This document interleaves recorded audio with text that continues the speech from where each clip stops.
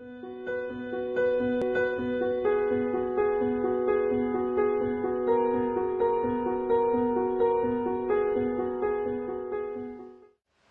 goeienaand. Baie dankie dat jy die tyd uitgekoop het om hierdie aand aanlyn byeenkoms saam met ons by te woon en mag hierdie woord wat ek vanaand met jou deel werklik jou inspireer, jou optel, jou bemoedig, jou uitdaag ook. Dit is 'n uitdagende woord, 'n woord wat in hierdie tye werklik manne en vroue se geloof so bietjie gaan challenge en mag dit by jou ingang vind. Kom ons bid dit eers. Vader, baie dankie vir die voorreg wat ons het om in die woord te kan wees. Wat 'n enorme voorreg. En ongetwyfeld besef ons meer as ooit van tevore dat ons lewe in die tye dat die wat in die geloof lewe, die wat in die geloof opstaan, die geloofsmanne en vroue wat in die geloof praat en die geloof dink en in die geloof optree, is die wat dit gaan maak. Here, ek kan nie anders as om duidelik in my gees in my op te tel dat ons beweeg in 'n tyd in waar die ware aanbidders na vore kom. Wat u in gees en in waarheid aanbid. Manne en vroue wat in die gees funksioneer en nie vaskyk in die vlees nie is wat ons nou nodig het en ek bid dat u manne en vroue oproep in hulle gees om so op te tree en ek bid dit in Jesus naam amen ons is besig in ons oggenddiens met 'n reeks om in die gees te wees. Ons weet dat die woord sê ons is nie in die vlees nie, maar ons is in die gees. Om in iets te wees, om in te is, as ek dit so kan uitdruk. In die gees te wees, in die geloof te wees.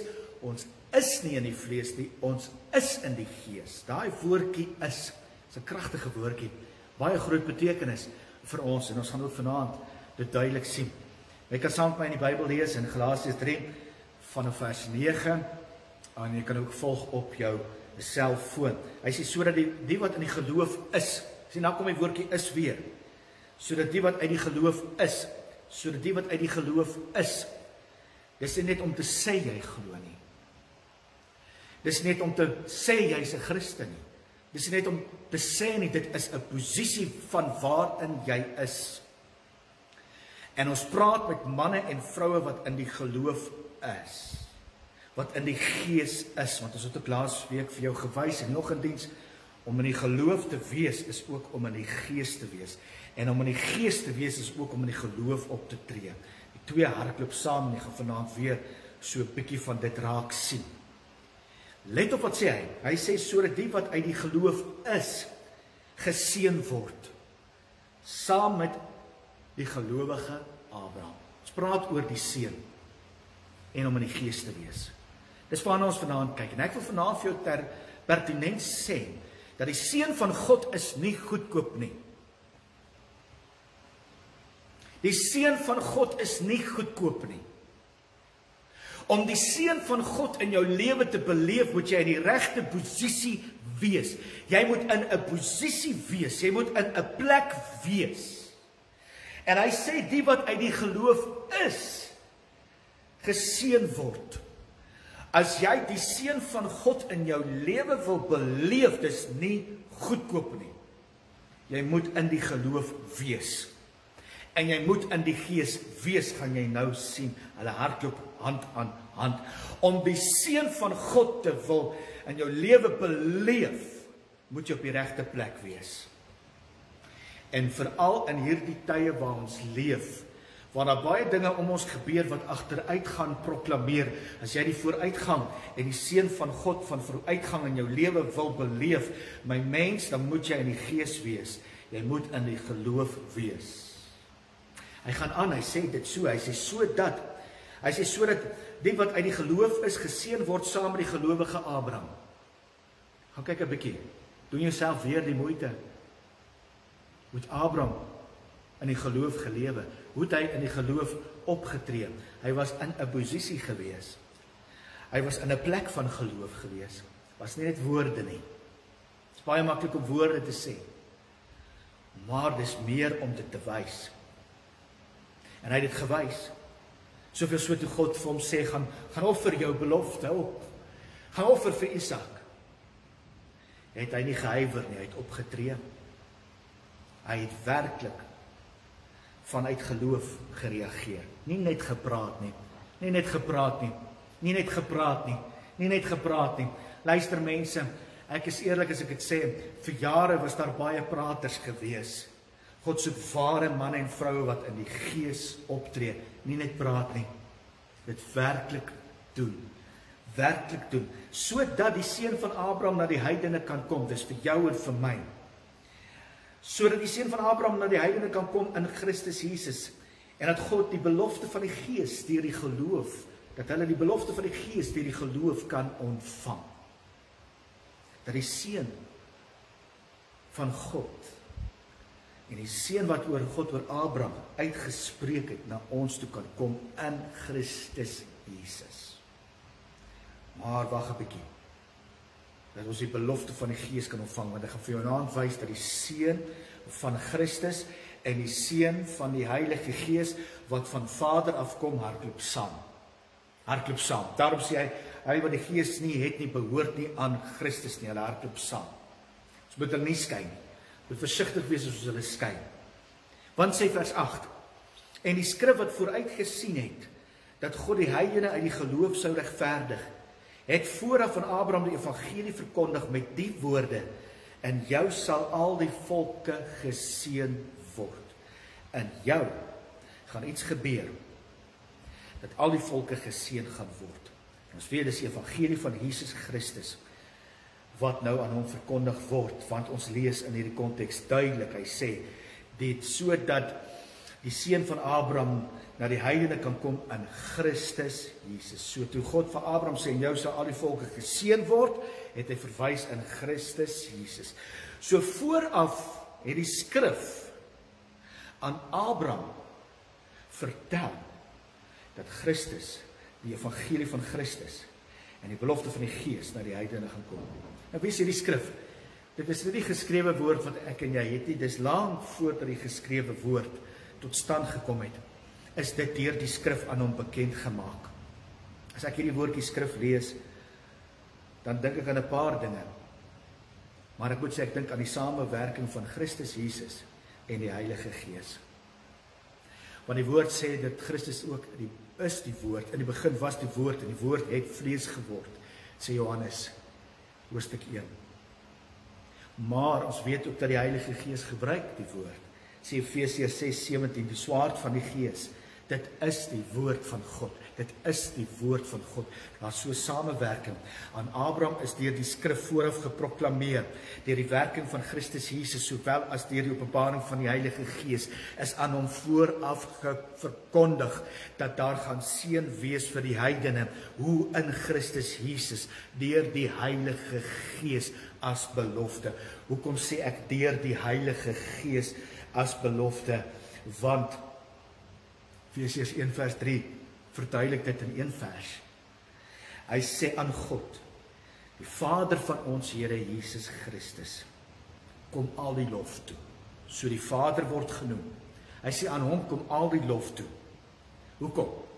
Want hy wat die Vader is, het ons in Christus geseën.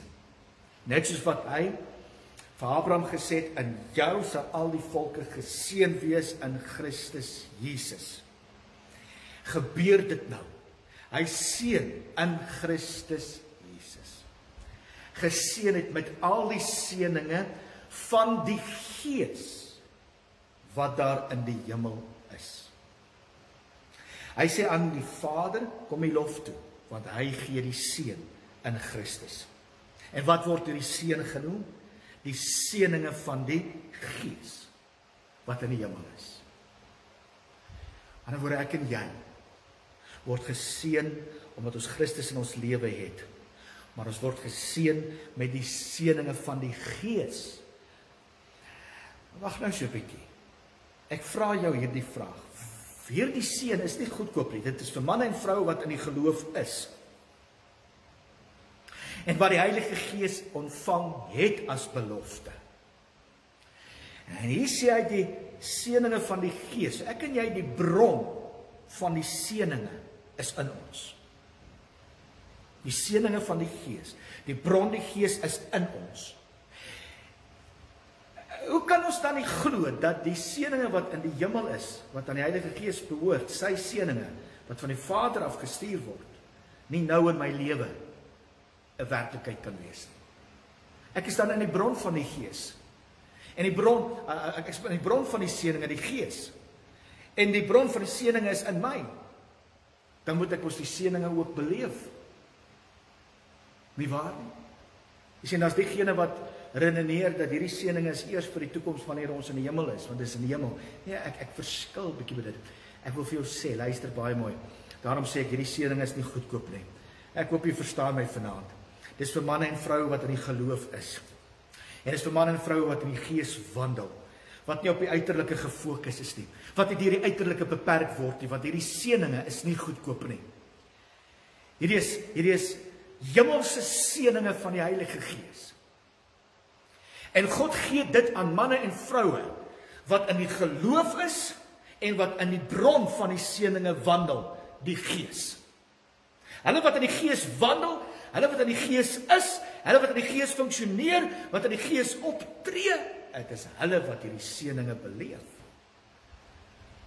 Want jy sien ons moet nie hierdie vers vergeet nie.